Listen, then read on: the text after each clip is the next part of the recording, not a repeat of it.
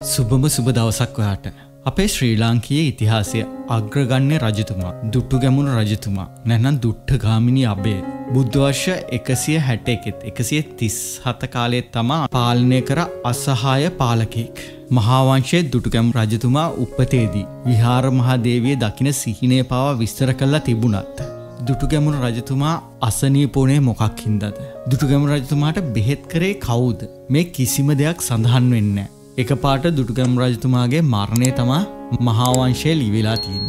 ඇත්තටම ඔයා හිතන්නේ දුටුගැම් රජතුමා වයසට ගිහිල්ලා මැරුණ කියලද. නැත්නම් වෙන මොනොහරි කාරණාවකින් මැරුණ කියලද. ඉතිං ඒ ගැන ගවේශනාත්මකව මේ වීඩියෝ එක අපි කතා කරනවා. එහෙනම් මේ වීඩියෝ එක අවසාන තප්පරය දක්වා එකතු වෙන්න. අනුරාධපුරේ හිටපු දමිල පාලකැවුණ එලා රජු සමග යුද්ධ කල්ලා. චෝල අධිරාජ්‍යන්ගෙන් සිංහල බෞද්ධ ජනතාව බේරාගත්ත රට එක්සේසත් කරපු රජතුමෙක් තමා දුටුගැමුණු රජතුමා. දුටුගැමුණු රජතුමාගේ පියා තමා රුහුණු රට පාලනය කරපු කාවන්තිස්ස රජතුමා. දුටුගැමුණු රජතුමාගේ රාජ්‍ය පාලන කාලයේ අරාබිය පර්සියාව බටහිර රටවල් රෝමය වගේ විදේශීය වෙළඳ සම්බන්ධතා හොඳින් පැවතුණු කාලයක් වෙලා තියෙනවා. දැයිතින් දුටුගැමුණු රජතුමාට දුට්ටගාමිනි අබය කියලා හඳුන්වන්නේ. දුටුගැමුණු කුමාරයා කියනවා. උතුර ආක්‍රමණය කිරීම ගැන දුටුගැමුණු රජතුමාගේ පියාවන කාවන්තිස්ස රජතුමාට කියනවා. ඉතින් කාවන්තිස්ස රජතුමා දුටුගැමුණු කුමාරයට යුද්ධ කරන්න අවසර දෙන්න නැහැ. ගඟෙන් මෙහා භූමිය ප්‍රමාණවත් කියලා පිය රජතුමා උත්තර දෙනවා. ඒත් සමග පියා සහ පුතා අතර වචන අදහස් සුවමාරුවක් ඇති වෙනවා. මේකෙන් පස්සේ තමා දුටුගැමුණු රජතුමාට දුෂ්ට ගාමිණී අබය කියලා හඳුන්වන්නේ. කාවන්තිස්ස රජතුමාගේ ඇවෑමෙන් කුලංගනී පිත්ති කියන ස්ථානයේ දුටුගැමුණු රජතුමාගේ සහෝදරයා සමඟ ඇතිවෙනවා ගැටුමක් මොකද කඩොල් ඇතයි විහාර මහා දේවියයි දුටුගැමු රජතුමා ලබාගන්න. මේ අවස්ථාවේදී පලනි පර දුටුගැමු රජතුමා තමාගේ සහෝදරයාට පරාද වෙනවා. මහගමට දුටුගැමු රජතුමා පලා යනවා. ඉන් පසුව ඇතිවන යුද්ධෙදී. දුටුගැමුණු රජතුමා දින්නල භික්‍ෂූන් වහන්සේලාගේ මෘත දේහයක් ගෙනෙන ආකාරයට තමා තිස්ස පලා යන්නේ. දුටුගැමුණු රජතුමා උපදින්නේ මා ගමති. දුටුගැමුණු රජතුමාගේ වංශය තමා සූර්ය වංශය. පියා කාවන්තිස්ස රජතුමා කියලා ඔක්කොම දන්නවානේ මවට කියනවා අභිෂේවර දේවිය. නැත්නම් විහාර මහා දේවිය කියලා. දැන් ඉතින් බලමු තුන් සිංහලෙම එක්සේසත් කළ පළමු මහා නරේන්ද්‍රයා වුණ මහාවංශයේ වීරයා ලෙස හඳුන්වන ශස්ත්‍රීක රාජ්‍යයක් බිහි කර දුටුගැමුණු රජතුමාගේ උප්පත්ති කතාව. දුටුගැම් රජතුමා උස්සට එනකොට විහාර මහාදේවිය දුටු සිහිනය ආදී මේ හැම දෙයක්ම මහාවංශයේ දුටුගැමු රජතුමාගේ වීරත්වය හා බැඳිලා ලියවිලා තියෙනවා. ඊට පස්සේ දුටුගැමු රජතුමාගේ කුඩා කාලය. ඊට පස්සේ මහාවංශය සඳහන් වෙනවා දුටුගැමු රජතුමාගේ චෛත්‍ය කර්මාන්තයත් එක්ක. ඊට පස්සේ මහාවංශයට අනුව ප්‍රථම ගොඩනැගිල්ලේ අත්තිවාරම දන්නෙත් දුටුගැමුණු රජතුමා. එක වර්තමානයේ මිරිස වැටිය තූපය කියල තමා හඳුන්වන්නේ. ඉට පසේ මහල් නමයකින් යුත් ලෝහ ප්‍රාසාදය කියලා තඹ වහලයක් සෙවිලි කර ප්‍රාසාදයක් සංග සතු කරනවා. මේ ප්‍රාසාදයේ සැලැස්ම දෙවිය ලෝකෙන් තමා දුටුගම් රජතුමාට ලැබෙන්නේ.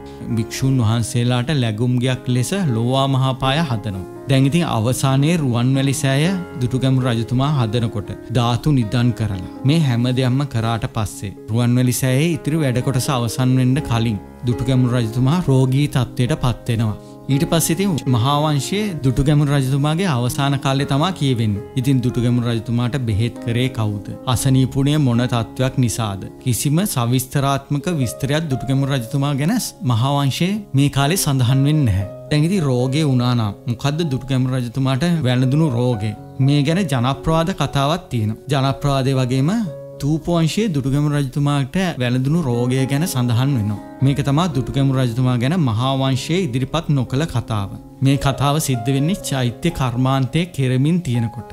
රුවන්වැලි සෑයට පැමිණෙනවා නාග ගෝත්‍රික කන්‍යාවන් පිරිසක්. නාග ගෝත්‍රිකයන්ට රුවන්වැලි සෑය වන්දනා කරන්න හේතුවත් තියෙනවා. බුදුරජාණන් වහන්සේගේ ද්‍රෝණයක් ධාතුන් වහන්සේලා රුවන්වැලි සෑයට වැඩමවෙව්වේ නාගලෝකයෙන් කියල තම අපේ ඉතිහාසය සඳහන් වෙන්නේ. තැන් ඉතින් මේ රූමත් නාගකන්‍යාව එනකොට. එතන වැඩකරපු චෛත්‍ය කර්මාන්තයේ එදන පිරිස දුටුකැමුරු රජතුමාට මේ බව දැන්නවා. ඉතින් දුටුගැම් රජතුමා කඩිනමින් චෛත්‍ය කර්මාන්තය කෙරණ ස්ථානයට පැමිණෙනවා. දැයිතින් මේ නාග කන්‍යාවන්ගේ තියෙන ලස්සන හින්දා. දුටුගැමුරු රජතුමාට මේ නාග කන්‍යාවයෝ පිළිබඳව සිතක් පහළ වෙනවා. නාග කන්‍යාවන් අතර. පිටිපස්සෙන්ම යන ඉතාමත් රූමත් නාග කන්‍යාවගේ අතින් දුටුගැම රජතුමා අල්ලනවා. ඉරිවසේ නාග කන්‍යාවේ කියනවා. ස්වාමිනි මම නාග කන්‍යාවක්. මාව අතහරන්න. මාගේ ස්වාමයා මහාකාල නාගරාජය. මේ ක්‍රියාව මහාකාල නාගරාජයා දැනගත්තු.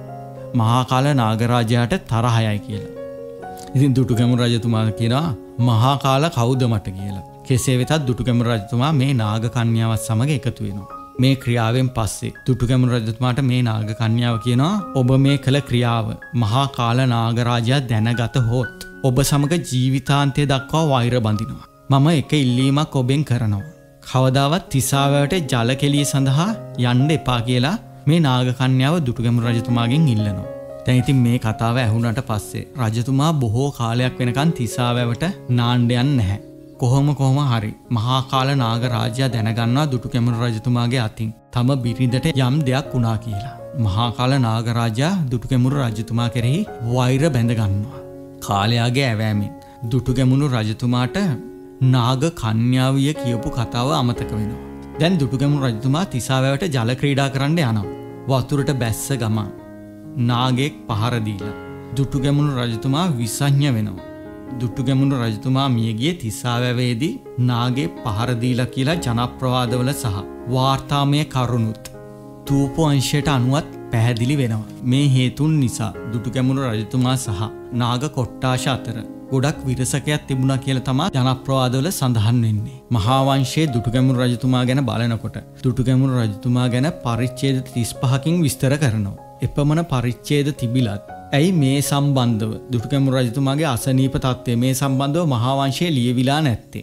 දැයිති මහාවංශය තවත් සඳහන් කරනවා දුටුගැමුණු රජතුමා සහ පුතාවන ස්ථාලිය කුමාරයා අතර සමගයක් තිබුණේ නැහැ කියලා. මහාවංශය මේ විදිහට තියෙන්ද.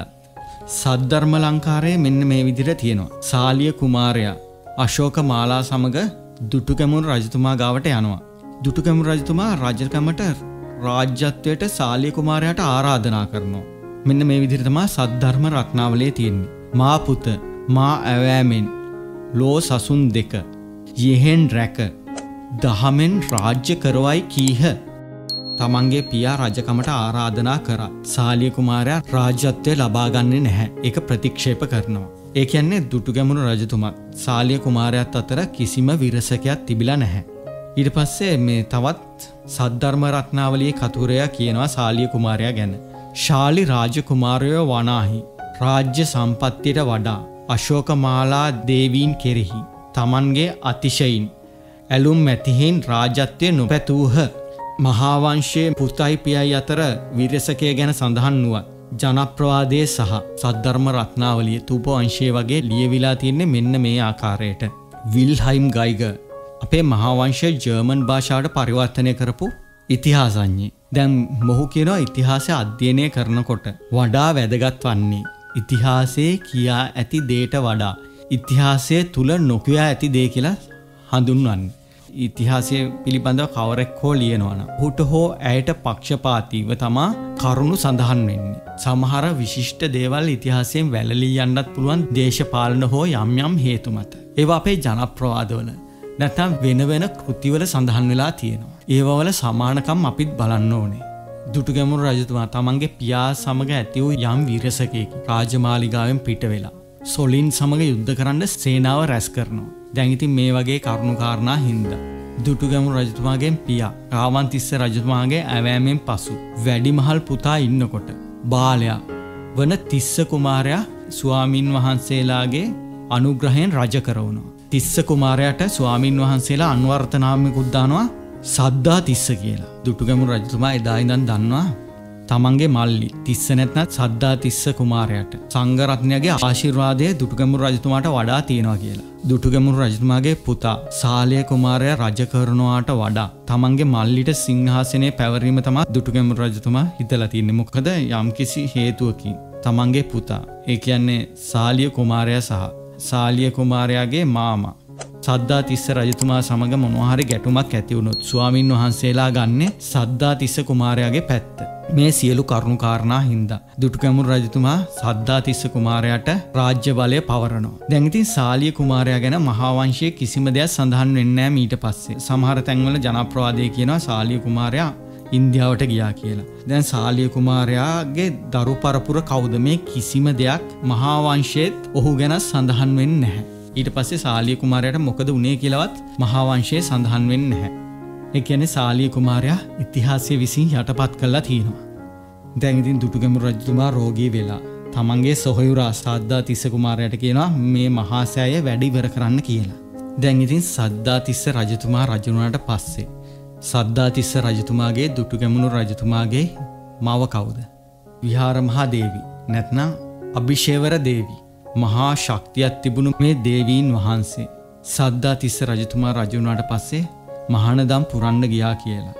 ශිලාලේඛනයක් මිහින්තලේ සඳහන් වෙනවා. රාජ් සෝමදේව මහත්මය තමා මේ විදිහට සඳහන් කරන්නේ. දැංගිතින් මෙච්චර විශාල වැඩ කොටසත් ශාසනයට රටට කරපු දුටු ගැමුණු රජතුමා ඇවෑමෙන් පස්සේ ගෞරෝනාමයක් දෙනවා අපේ භික්‍ෂූන් වහන්සේලා. ඒ තමයි දම්ම ගාමිනී කියලා. ශාසනයට මේසා විශාල වැඩ කොටසක් කර පුදුටු ගැමුණු රජතුමාට මුලින්ම මේ නාමේ ප්‍රධානය කළේ නැත් ඇයි. එතකොට දුටුගැමුණු රජතුමාගේ මල්ලිට තිස්ස කුමාරයට මුලින්ම සද්ධා තිස්ස කියලා ගෞරෝ නාමයක් ලබා දෙන්න මොකද? මේ හැම දෙයක්ම අපට හිතන්න ඕනේ කරුණු. මේ ගැන ඔය අනිවාරෙන්ම ගවේශණය කරන්න. මේ වගේ ගවේශනාත්මක වීඩියෝ බලන්න. අපිෝ සබස්්‍රයිප් කරලා බෙල්ලයි කරන එක කලික් කරන්න. ඒක තමා ඔගොල්ලො අපට ලබා දෙන ලොකුම හයිය.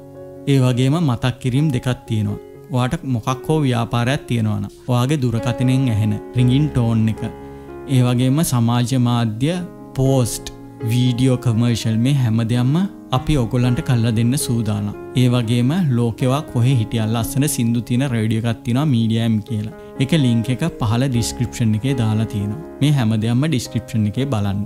එහෙනම් ඉතින් පරෙස්සමින් ඉන්න.